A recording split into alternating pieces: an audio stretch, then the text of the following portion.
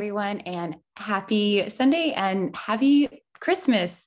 Today is the first Sunday of Christmas, and um, it is also the second day of Christmas. So if you uh, grew up singing the 12 days of Christmas, uh, perhaps you do or don't know that um, the 12 days actually start on Christmas Day. It's not before Christmas, but it's after Christmas. So, um, you know, happy second day of Christmas. Um, today is going to be uh, obviously all online. So it's all a little pared down, uh, more just like an acoustic set. So um, I invite you in your own space, in your own homes to um, gather in, um, whatever that looks like for you, um, and prepare your hearts and your minds um, and your spirits for our uh, Christmas Sunday service. Um, do have a couple of announcements. There is not going to be fiber arts this week. Um, I am taking the day off, so uh, we won't be having fiber arts, but um, we'll be back next week in full force. That'll be on Zoom. Community dinner is a go. So um, if you're in Boston and you're looking to either help out or serve a meal, you're always welcome to stop by the church on Monday evenings from five to seven. There'll be a meal, and um, it's you can help serve or you can help. Uh, you know, just grab some food, whatever you'd like to do, uh, you're more than welcome to. Um, I think that's it in terms of announcements. Our Advent Bible studies wrapped up.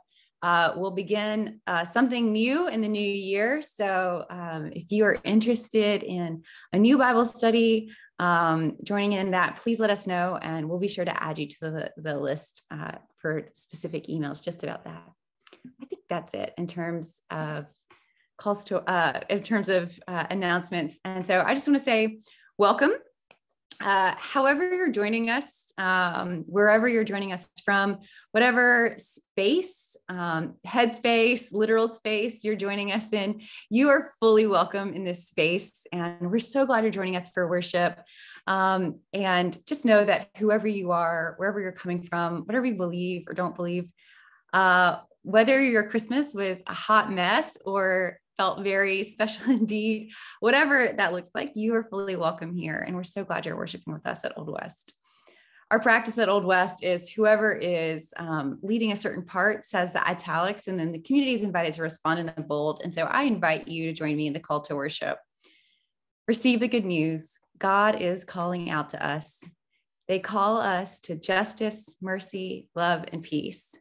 Let us seek the divine with our hearts and minds in worship and in action. Alleluia, alleluia, alleluia.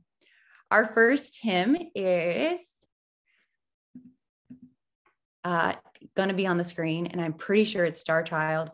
The good news is you're like, wow, Sara, there's a recording on the screen. How am I going to know the lyrics? Supposedly, the lyrics are going to show up in the screen. So, you know, we're all learning new things still. Learning curve continues. So, hopefully, this works out. Um, this is our Christmas choir. We recorded this a couple of Sundays ago. So, uh, I invite you to sing along with our Christmas choir.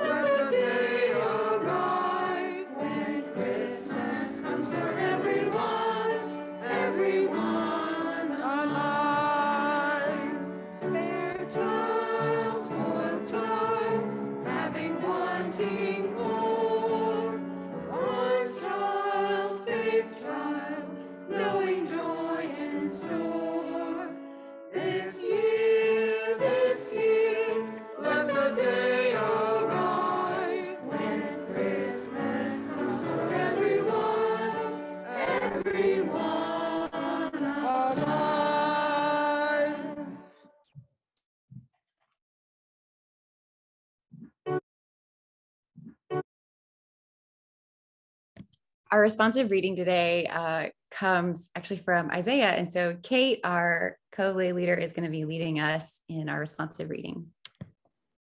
So, I'm going to be reading the italics and the bold, and feel free to respond in the bold. How beautiful upon the mountains are the feet of a messenger who proclaims peace, who brings good news, who proclaims salvation, who says to Zion, Your God rules. Listen, your lookouts lift their voice, they sing out together. Right before their eyes, they see the Lord returning to Zion. Bring into song together, you ruins of Jerusalem. The Lord has comforted their people and has redeemed Jerusalem.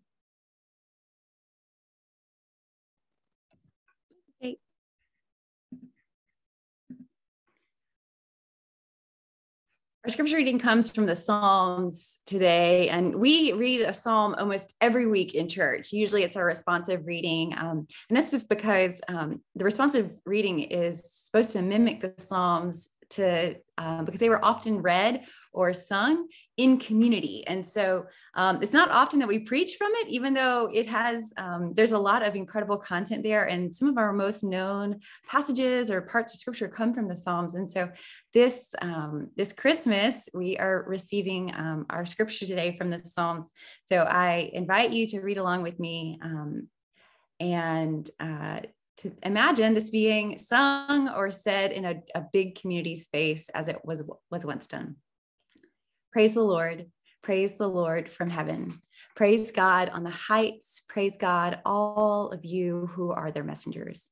Praise God, all of you who comprise their heavenly forces. Sun and moon, praise God. All you bright stars, praise God.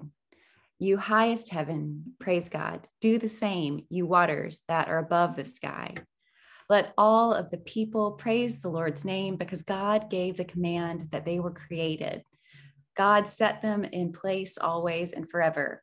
God made a law that will not be broken. Praise the Lord from the earth, you sea monsters and all you ocean depths. Do the same, fire and hail, snow and smoke, stormy wind that does what God says. Do the same, you mountains and every hill, fruit trees and every single cedar. Do the same, you animals, wild or tame, you creatures that creep along and you birds that fly. Do the same, you sovereigns of the earth and every single person, you ruler and every single leader on earth. Do the same, you young, you children too, you who are old together with you who are young. Let all these praise the Lord's name because only God's name is high over all. Only God's majesty is over the earth and heaven. God raised the strength of their people, praise of all their faithful ones. That's the Israelites, the people who are close to them. Praise the Lord.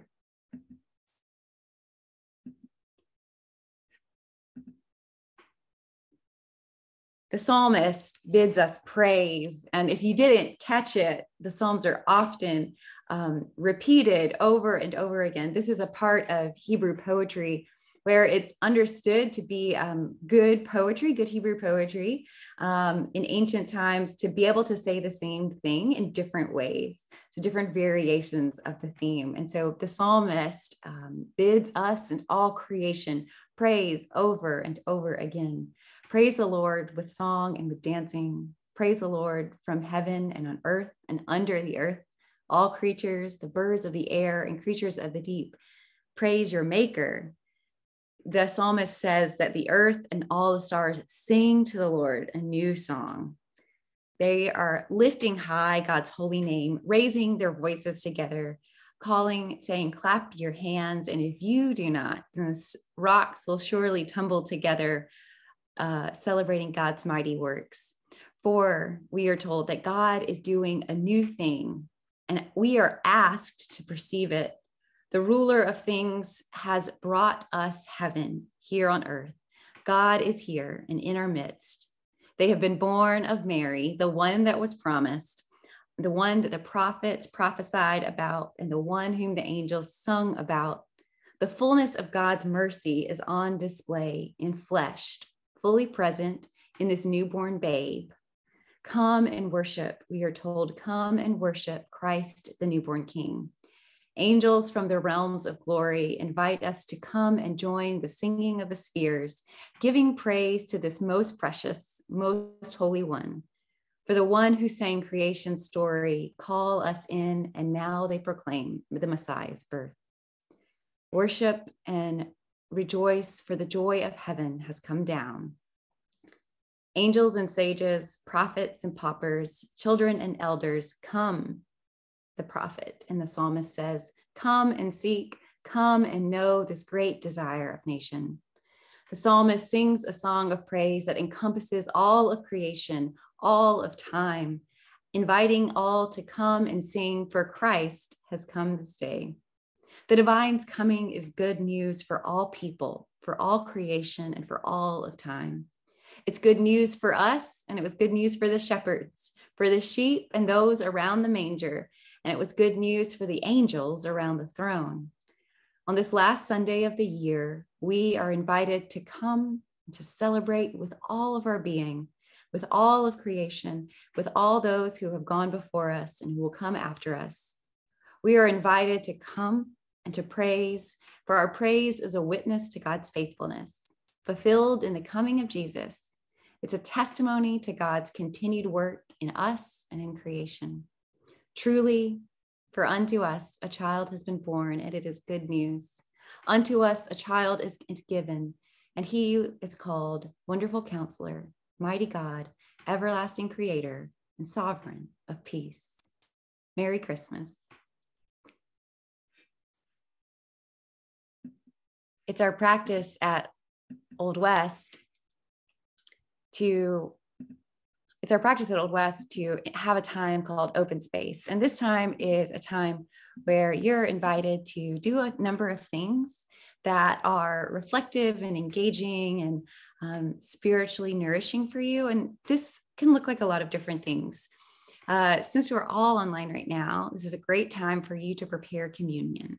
If you want, you're also invited to light an Advent candle or you are invited to light your Christ candle. The after Christmas happens, our Advent candles are all lit, and we have a center candle. It's called the Advent, uh, the Christ candle, and you're invited to light it.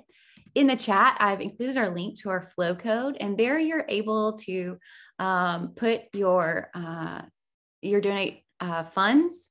But um, this week, since we're online, uh, we can go back to using the chat for prayer requests. So feel free to use the chat and put in your prayer requests, whatever they are. Uh, we practice um, and fully understand that prayer is important. Um, prayer changes things and it changes our hearts and it changes our relationship to each other and it changes our relationship with God in a good way. Um, being in conversation with someone helps you get to know them better. So, prayer is one of the ways we have a conversation with God. So, feel free to put your prayer requests in the chat. We'll read them out loud later in the service. Uh, you're invited to read a scripture passage or poem. And if you give or an online giver, this is a great time to give online. During open space, we'll listen to some music. Um, and you're again invited to prepare communion if you wish it. Welcome to Open Space.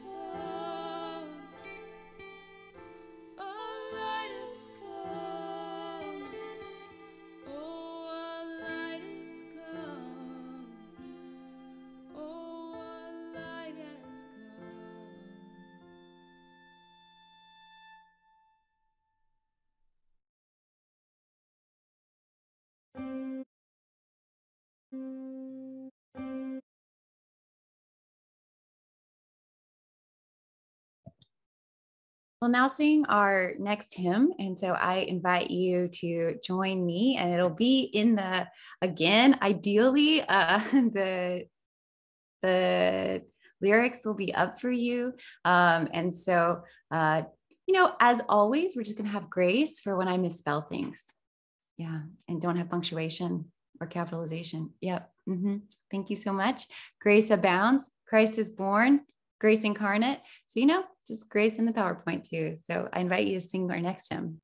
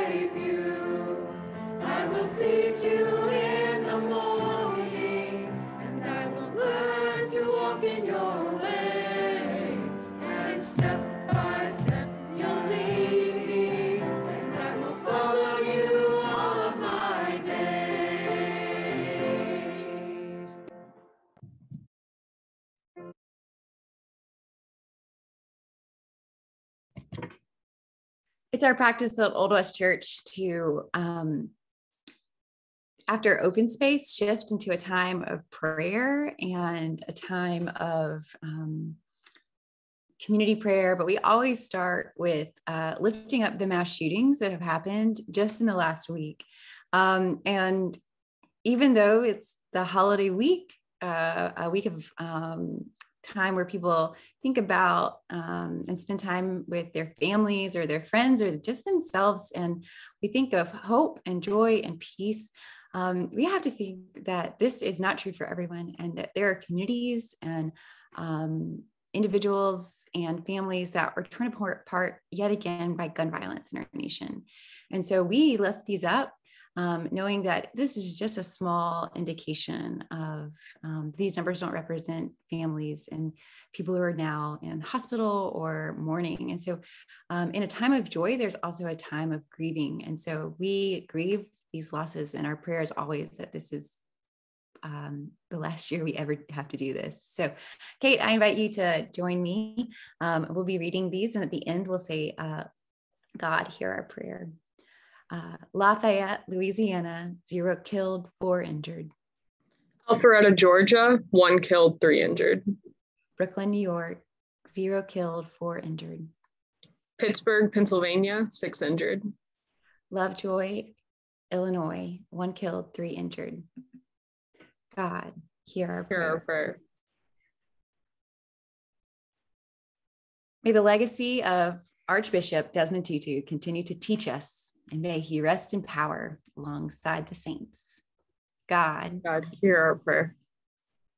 Prayer for the for the peace on earth. God, hear our prayer. Bring an end to all systems of oppression and institutions of injustice. God, hear our prayer. Prayer for the health and happiness for all people. God, hear our prayer. Keep all safe in their travels this holiday season. God, hear our prayer. Healthcare workers experiencing or bracing for the winter surge. God, hear our prayer. Immune compromised and other high risk people who are likely impact, to be pa- impacted by Omicron. God, hear our prayer. For those who aren't at high risk, have compassion and be mindful of others' safety. God, hear our prayer. Hear our prayer. Thank you so much, Kate. Indeed, church, these are prayers of our community, um, and we lift them up from our hearts and we lift them up in this cloud of witnesses. Um, so I invite you to join me in prayer um, as we lift these up um, among the others that we remain uh, keeping and treasuring in our hearts. Holy and gracious God, we come to you today across time and space. We come to you uh, across state lines. We come to you in pajamas and Christmas sweaters. We come to you tired and we come to you joyful. We come to you frustrated and worried. We come to you full, trusting and with full joy. And God, you take us just as we are. However, we come today, however, we gather, you take us into your arms, sheltering us with your wings, and you love us. You know the desires of our heart. You know our prayers and our needs more than we could ever know. And you are closer to us than our every breath. And so, God, in between the breaths, as we rest in the inhale and the exhale, we invite your peace to come into our hearts. We invite your compassion to fill our being, that we might be your hands and feet we invite you to change us so that we might change the world to be a better place for all of your creation. And Lord, we thank you this Christmas for the sending of your child, that perfect and holy one who taught us how to be you and how to be your people here on earth. So change us once again to be more like your child, Jesus, that we might change the world. Amen. We always shift from prayers of the community to prayers around the communion table. And the communion table doesn't have to be a fancy altar. It can be uh, a music stand or a kitchen table or a coffee table or a stool that you swiped from your parents' kitchen, which is what I'm using today. Um, but uh, if you are going to be celebrating communion, um, I do invite you to make sure you've got it prepared. And I invite you to read the bold and I'll read the italics. We cry out to you, our Creator. Come to us quickly. Listen to our voice when we cry out to you. Let our prayers come before you like incense. Let our uplifted hearts be like an offering. Our hopes are in you, our Redeemer. We take refuge in you, our Sustainer.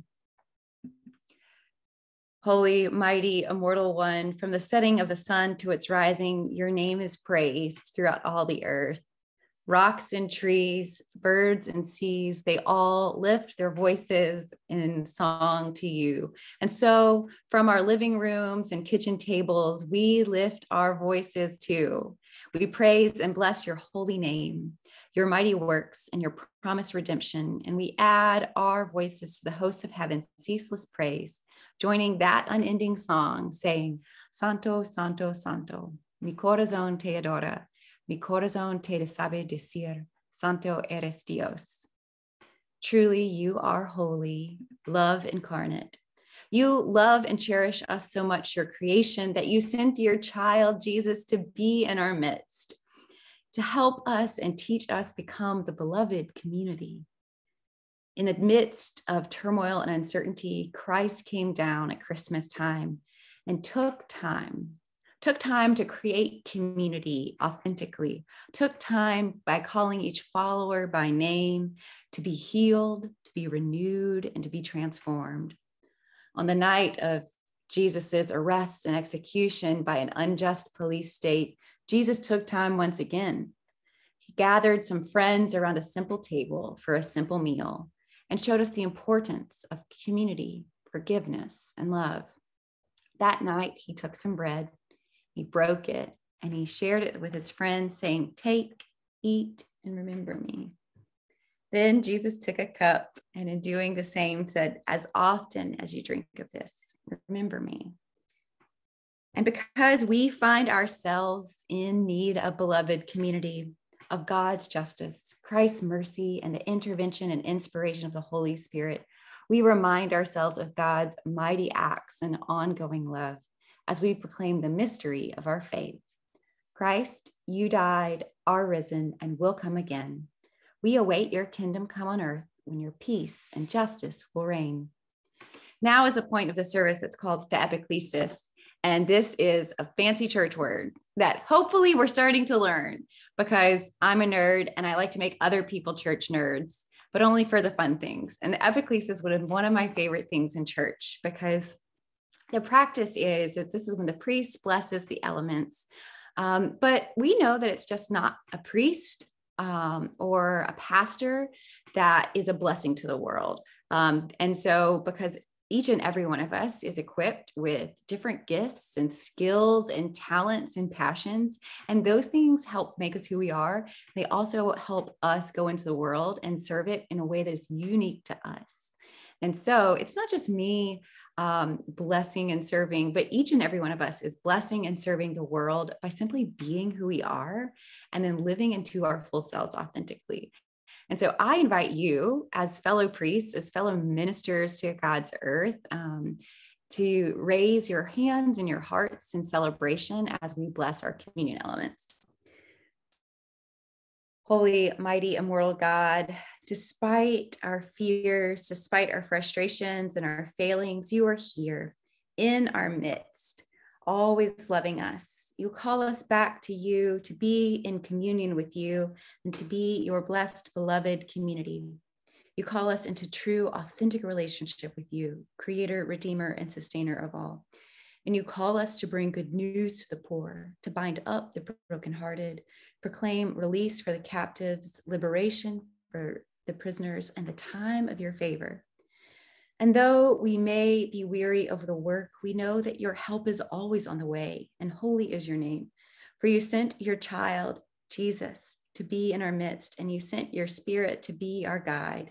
So we say, Send your spirit once again, mighty God, to be in our midst, to be in our homes and on these gifts before us, so that they might be for us like your heart broken for the world, and your love poured out for the healing of the nations.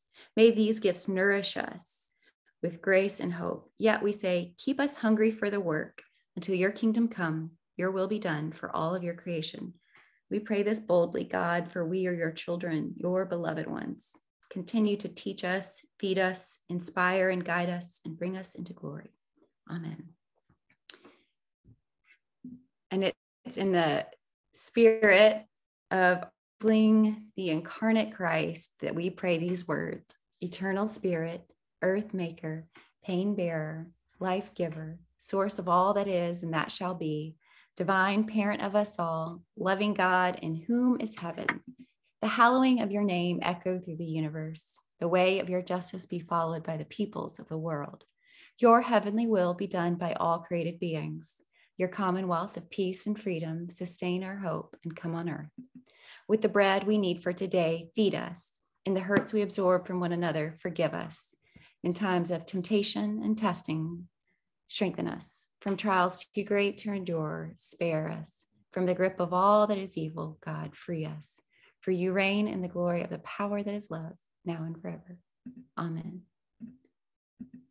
Church, I invite you to take your cookie, or maybe if it's since it's Christmas, you've got a Christmas cookie lying around, or a cinnamon roll, or whatever you're using. And I invite you to break a piece off. And so, like, once we were holding something that was a little bit larger. So now we have a little bit smaller piece. We are reminded that we come from the big whole body of Christ. And we, though we are a small part of it, uh, we are reminded we are integral to the work and we are reminded that we don't do this alone. So I invite you to serve yourself. Um, and if you are with someone else who also wants communion, you're invited to serve them.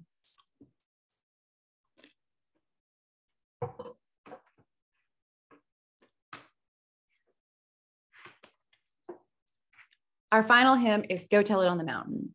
Um, this is one of my favorite hymns, and um, there is a passage in scripture that says beautiful are the uh, feet um, on the one of the feet are the feet of the one on the mountain who brings good news.